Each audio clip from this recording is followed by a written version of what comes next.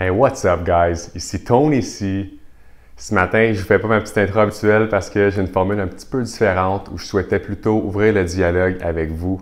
Euh, j'ai pas l'habitude de parler politique. Je pense que c'est honnêtement une des choses que je déteste le plus au monde.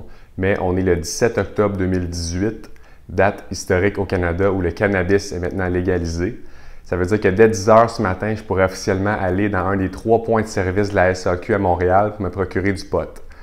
Honnêtement, je ne suis pas certain de comment je me sens par rapport à cette nouvelle-là, puis j'aimerais beaucoup ça vous entendre sur le sujet.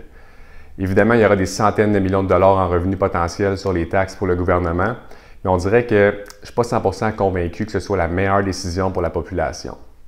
J'ai fumé quand même plusieurs fois du pot dans ma vie, je connais des gens qui en consomment euh, régulièrement.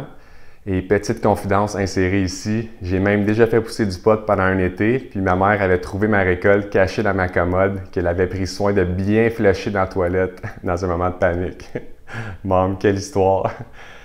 Je pense que tous ceux qui ont déjà consommé vont être d'accord avec moi pour dire qu'après avoir fumé un joint, on n'est pas dans un haut niveau de conscience éveillé en train d'atteindre notre plein potentiel. C'est plutôt l'inverse, je dirais.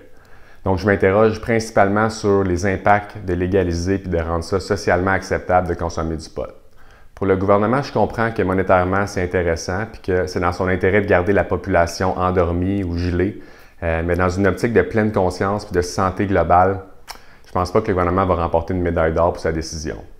Justin Trudeau a dit, et je cite, la raison pour laquelle on fait la légalisation, c'est parce qu'actuellement, dans l'ancien système, les enfants ont trop facilement accès au cannabis. On sait que si on fait comme l'alcool, on réglemente, on contrôle ce qui est dedans et qu'on s'assure qu'au point de vente, il y a une vérification des cartes d'identité, on peut rendre ça plus difficile pour nos jeunes d'y accéder. Come on, buddy. Sérieusement? Anyways, seul le temps nous dira si c'est une bonne chose ou non. Laissez-moi savoir si vous avez des drôles ou moins drôles de péripéties impliquant du cannabis que vous pouvez nous partager dans les commentaires. Je suis sûr que oui. Dites-moi si vous êtes pour ou contre la légalisation. Finalement, si vous décidez d'aller acheter du cannabis aujourd'hui, bonne chance. Ça va sûrement être euh, la folie et tout un défi. Et si vous consommez, soyez prudent, guys, et ne conduisez jamais après avoir fumé. Ça pardonne pas. Bonne journée.